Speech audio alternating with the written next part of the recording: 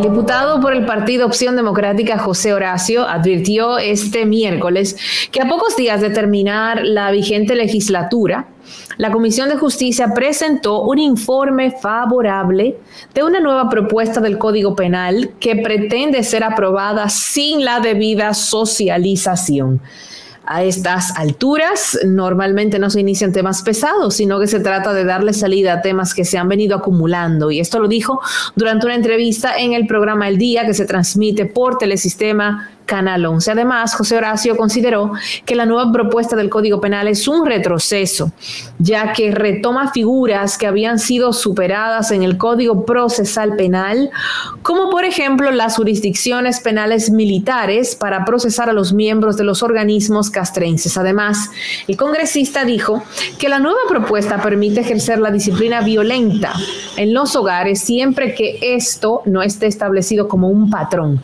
Asimismo, dijo que la discriminación a las minorías como los miembros del colectivo LGBTIQ.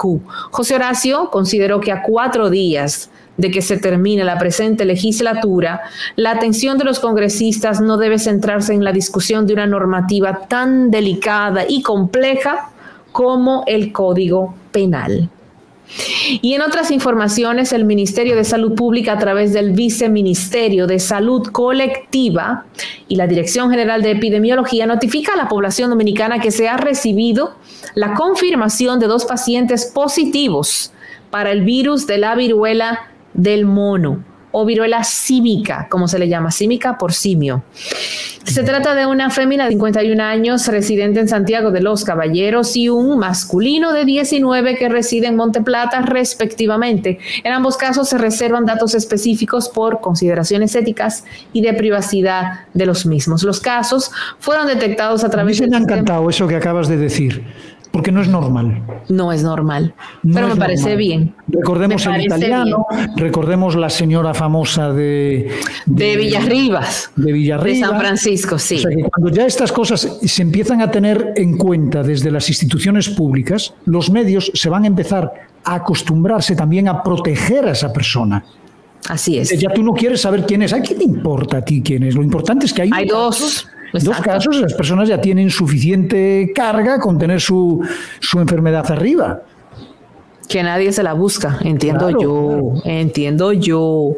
Entonces los casos fueron detectados a través del Sistema Nacional de Vigilancia Epidemiológica.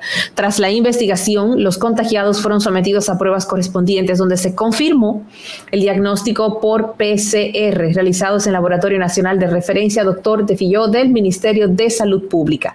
Los pacientes presentan un cuadro estable, actualmente están en aislamiento y bajo los cuidados médicos en el Hospital Militar docente Ramón de Lara de la Fuerza Aérea Dominicana. De igual manera se realizó el cerco epidemiológico eh, con todas las personas cercadas que han tenido posible contacto y hasta el momento no hay reporte de que hayan presentado síntomas de esta enfermedad. El Ministerio de Salud Pública, como siempre, informando y exhortando a la población a no alarmarse y a mantenerse atento a los reportes que se ofrecerán de manera oportuna sobre el estado clínico de los pacientes. Y el alcalde de Nueva York, yéndonos ahora un poco fuera del patio, el alcalde de Nueva York, Eric Adams, pidió ayer martes ayuda federal al gobierno de Estados Unidos por el fuerte aumento de solicitantes de asilo, especialmente desde América Latina. Eh, se ha registrado un aumento recientemente en la ciudad en el sistema de albergues para los sin techo o como les llaman en inglés, los homeless. En una nota, la alcaldía dijo que los albergues de la Gran Manzana han recibido 2.800 solicitudes de asilo de Latinoamérica y de otras regiones en las últimas seis o siete semanas y reclamó asistencia gubernamental financiera, así como también técnica, ante el riesgo de desbordamiento. En algunos casos están llegando familias en autobuses enviados por los gobiernos de Texas y Arizona, mientras que en otros parece que las personas están siendo enviadas por el gobierno federal. Ayuda para los migrantes y asilo para los sin techo o homeless que llegan desde América Latina. Es, un, es un, tema que, que, como vemos, no es solamente de nosotros. No. Hace apenas una semana y media estaba pasando lo mismo con Marruecos y España, donde incluso fallecieron casi treinta y pico personas en lo que se consideró el salto de la valla eh, más violento y masivo que se habían producido en los últimos años. Eh, y yo creo que este es precisamente el trato. O sea, hay que buscar la ayuda para estas personas y evidentemente también si bueno pues si no están si son emigrantes legales canalizarán cierto tipo de ayudas por un lado pero si son emigrantes ilegales pues eh, serán deportados o tal, pero no significa que tengan que ser para nada ni maltratados ni nada de eso, sino simplemente no están legales en el país y se procede como se procede con otra persona cualquiera. Pues así es, la situación de la migración eh, es un mal mundial. Todo el mundo quiere moverse hacia donde, hacia donde siente que va a estar mejor y sobre todo en época post pandemia, en donde también económicamente el mundo está siendo golpeado. Eh, la mayoría de las personas que sienten que en su país no tienen un espacio, un lugar, pues su opción es migrar a ver qué, pueden encontrar. Eh, a mejorar, así es, a mejorar. Eh, Europa también es un lugar donde se siente mucho la migración. No sé tanto si en Asia o en esos países, quizás por el tipo de cultura tan cerrada y el tema del idioma que también... Hay todo tipo de migración. Yo siempre lo he dicho, yo soy un emigrante. Claro. Yo, no vine en unas condiciones como vienen otros muchos. Yo soy bisnieta de emigrantes. Yo no vine en unas condiciones paupérrimas, yo tuve muchísima más suerte, pero mi objetivo quizá en su momento fue el mismo, encontrar más oportunidades, eh, mejores condiciones de trabajo, quizá eh, encontrar algo que yo no, encontraba en ese momento pues en, mi tierra natal. Claro, hay diferentes tipos de migrantes, pero hay empresarios que emigran buscando negocio en otro sitio, hay personas vulnerables que lo que quieren es simplemente mejorar incluso su condición humana más básica eh, lograr un trabajo para poder comer, que quizá en su país pues ya no lo encuentran, pero hay otros, otras escalas de migrantes en donde también hay ilegales. ¿ok? Porque hay muchos, eh, muchos empresarios que vienen y hacen negocios, no se legalizan, etcétera, etcétera, etcétera. Así es, etcétera, etcétera, etcétera. y el problema está ahí, no en la migración, sino en la forma en que ya luego usted establece cómo va a vivir en ese país.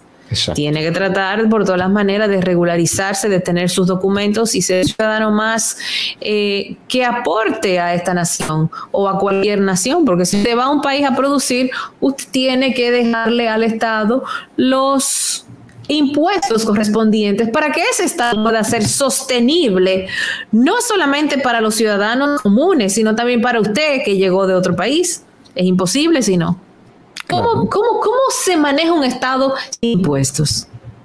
¿Cómo, cómo se hace? No, imposible. Imposible. Imposible. Imposible. Porque al final es eso, el país es una gran empresa. Los ciudadanos somos todos los accionistas que a su vez también con nuestro aporte ponemos ese dinero en una caja que se llama gobierno para que el gobierno gestione y administre todo eso que nosotros generamos para poder vivir en una nación, en un país. no hay forma. yo siempre digo que lo que tenemos que hacer todos los dominicanos, porque a veces como que no, no lo tenemos suficientemente claro cómo funcionan estas cosas. Evidentemente lo entenderíamos mucho mejor si todos los servicios por los cuales tú pagas impuestos funcionasen bien. De acuerdo, pero eh, es que si no los pagamos no van a funcionar ni bien ni mal, simplemente no, no existen. No van a funcionar, claro. Tampoco. Hombre, a veces nos duele de que con nuestros mm, impuestos pues haya sinvergüenzas que los usen, usen para otro tipo de cosas, pero también eso es lo que hay que ir corrigiendo. Lo que no podemos es asumir posturas de decir, bueno, mm, yo los impuestos no los quiero pagar, o permitirle a empresas que no paguen los que no paguen los los impuestos. Por eso a mí cuando me dicen, bueno, de una empresa que evade o de una persona que, no paga los impuestos, hombre, yo me siento mal porque el país va a tener que funcionar igual y le van a subir los impuestos a los que los estamos pagando porque no se completa la cuota porque hay otros que no los están pagando y no que no los están pagando Y, hombre, que no me digan por qué no pueden. Porque siempre el cálculo impositivo, hombre, salvo los impuestos básicos del valor añadido que disparan eh, precios muy, muy establecidos de productos muy tal, que si suben esos impuestos nos afectan a todos directamente, pero eh, yo cuando hablo de empresas me refiero que, que me fastidia ver empresarios que dicen, ah, tal, yo no, yo no lo pago. No, no, usted, usted págalo. Por eso yo, en el caso este de las compañías de fuera, de, de redes sociales y de Internet y todo eso, digo, bueno, que a mí me van a subir Netflix un euro.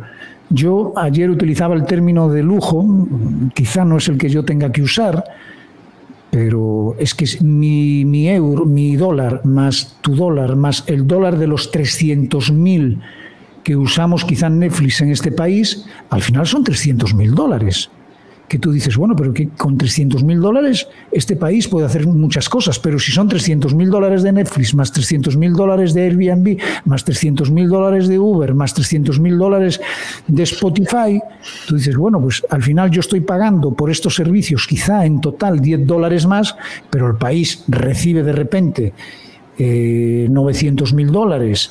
Eh, es empiezan a ser cifras muy interesantes y muy importantes como para decir, pues mira, de repente vale la pena. Que ¿Tú sabes dónde está el problema? ¿Dónde está? Cuando esos impuestos solamente le damos un grupito. O cuando esos impuestos se van al bolsillo de un político. Sí, sí, por eso yo... Ahí es que está el problema. La gente donde no le, cuando cuestiona el tema de los impuestos es con el tema servicios, ok, yo pago los impuestos, pero mira la carretera cómo está. Eso pero, pero voy a un médico y no, y no me atiende. Eh, pero mira, se lo está robando fulano. ¿Entiendes? Ahí es donde a nosotros nos duele el tema, claro. el, tema impositivo, porque nos están metiendo la mano en el bolsillo. Para nada. y no se están viendo los resultados. Claro, ese claro. Ese es el problema.